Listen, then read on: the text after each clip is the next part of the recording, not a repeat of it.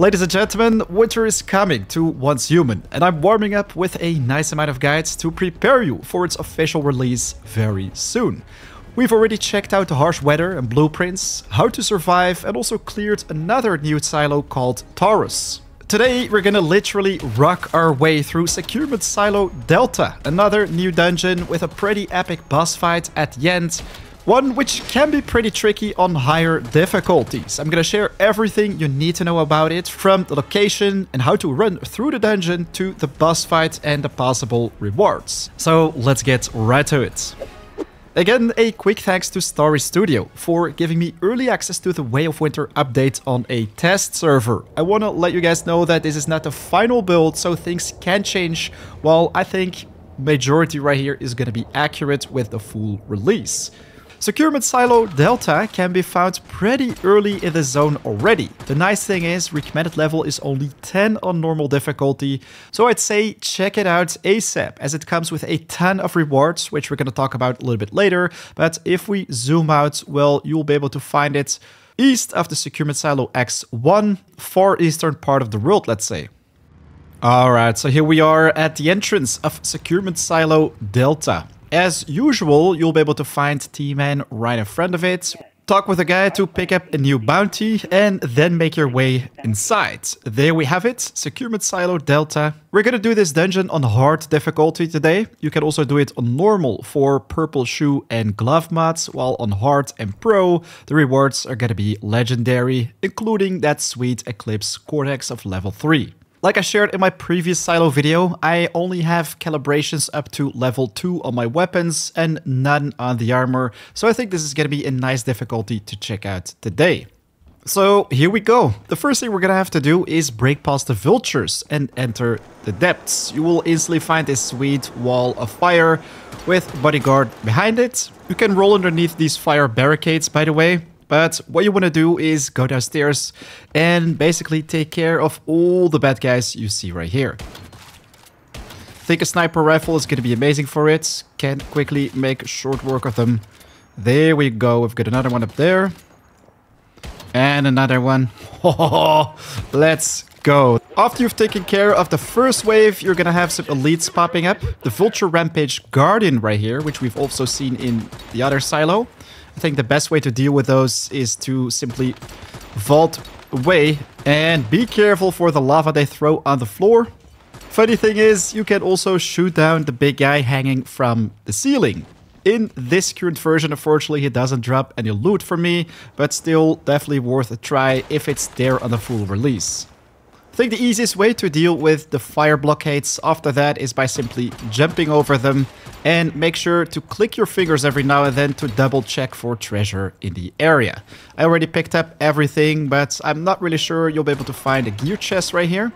This is where we have a nice Vulture underground disco, let's say, with plenty more bad guys to deal with.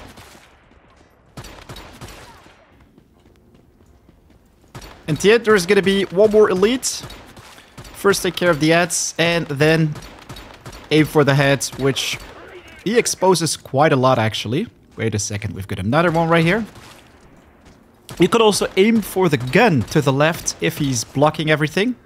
When you've taken care of him, a lot more vultures will run inside, which you want to deal with as quick as possible. Then you can interact with the panel right here to remove the blockades. Not sure why there's fire coming out of the walls, but once again, be careful for the blockades right here. We have to deal with just a couple more bad guys right here. Always aim for the head, in my opinion, works best against these. And look at the stage. Nice. Wait, wait, wait, wait, wait. This is hot.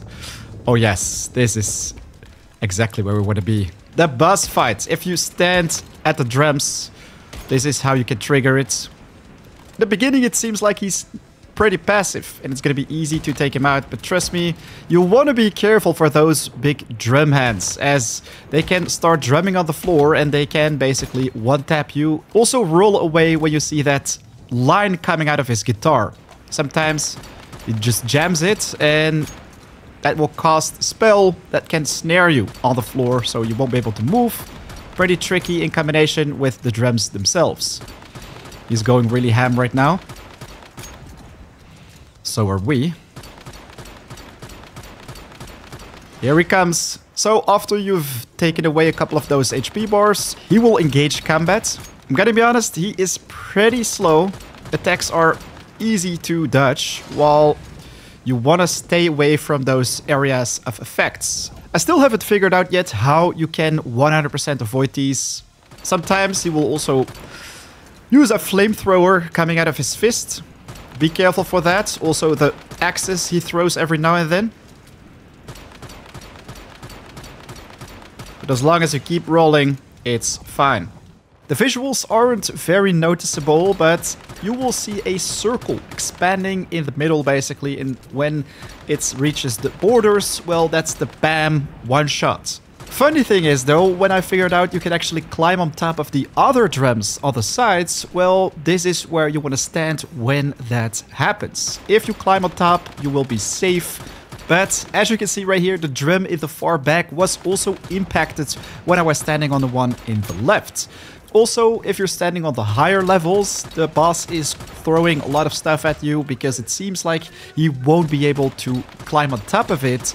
Still though, I think this is the best way to take him out. Simply hop from one drum to the next, aim for the head, and you should be able to take care of him in not too much time. Voila! Disciplinary action notice quest complete. And as you can see, the boss also dropped a H37 deviation, which we can pick up right now. Oh, nice fail right there. But here we go. We've got uh, the treasure chest as well. Let's control it. This one comes with specialization fragments, mods, and so much more. GG. You know what? Let's quickly speedrun our way through this silo a couple more times on normal, see which new deviation we can get our hands on. Check it out. That's another H37. Ah, look at that. This time we got our hands on a strange door. So it seems like you can get your hands on different deviations during this battle. And even the logging beaver. Let's go. Check it out. We found the H37 multiple times. Also the strange door, skill and activity rating of 4, logging beaver 2 and 3. But of course, you'll be able to pick up plenty of gear mods right here as well. So an interesting dungeon to farm for a whole lot of different things.